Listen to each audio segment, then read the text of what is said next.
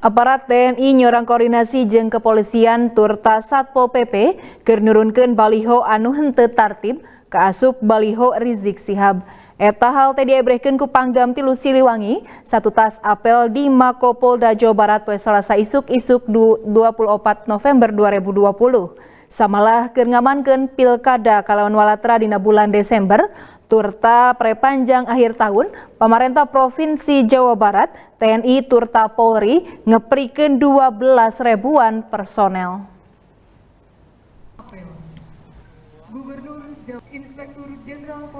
Pangdam Tilu Siliwangi Majen TNI Nugroho Budi nandeskeun pihakna bakal nurunkeun sakuna baliho anu henteu tartib kasup baliho Rizik Sihab.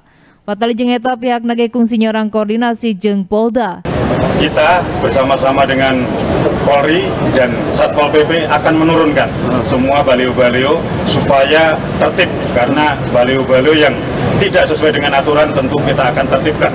Ya.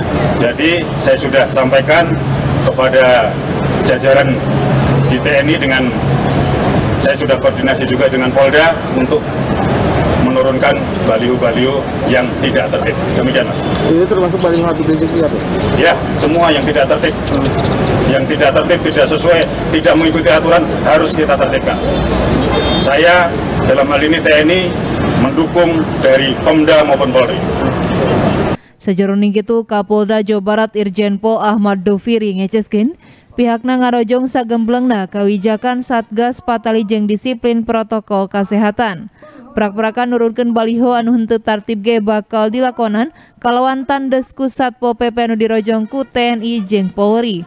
Pihak nage nandeskeun upamaya kagiatan anu ngarempak protokol kesehatan ke asup reuni 2 hiji 2 bakal nyorang lampah nanjerkeun hukum. Dengan pelaksanaan penurunan baliho, intinya adalah disampaikan Pak Pangdam dengan Pak Gubernur tadi, semua yang sifatnya tidak tertib, jadi siapa pun dalam hal ini tetap akan dilakukan tindakan tegas. Tapi intinya Satpol PP yang akan kita tempatkan.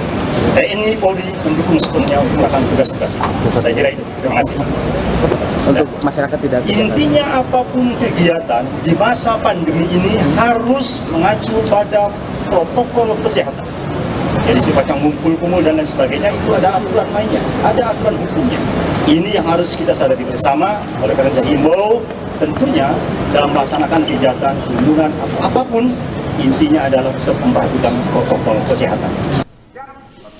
Eta hal teh diebrehkeun satu tas apel bersama ngungkulan COVID-19 Pilkada Kalawan Walatra dina bulan Desember serta proyek panjang akhir tahun anu pernahna di Mako Polda Jawa Barat pada Salasa isuk-isuk 24 November 2020.